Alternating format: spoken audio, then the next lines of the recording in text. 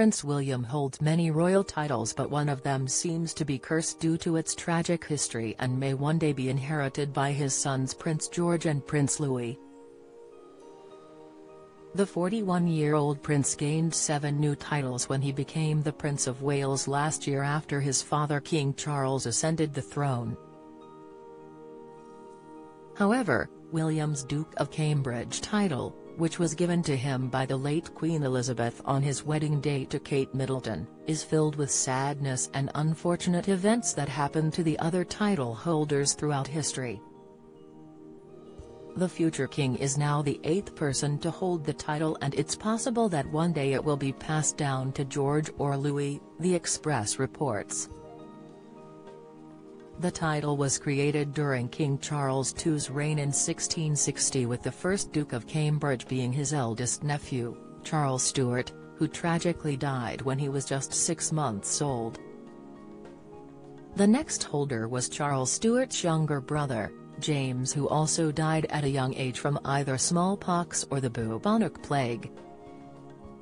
The king's oldest nephew followed, Edgar Stuart, but he passed away at the age of three at Richmond Place on June 8, 1671. Edgar's titles became extinct until the birth of his younger brother, also named Charles, in 1677 but tragedy struck again when Charles died at just 35 days old. The cursed title was not used again until 1706 when Queen Anne made the future King George II the fifth Duke of Cambridge.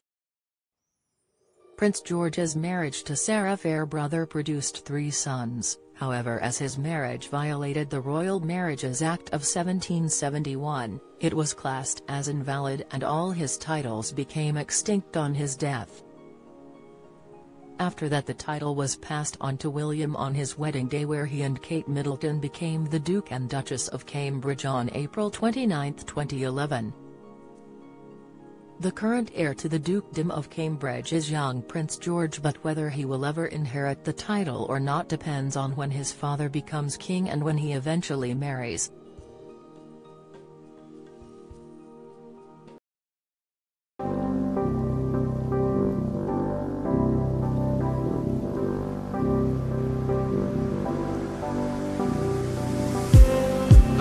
just me.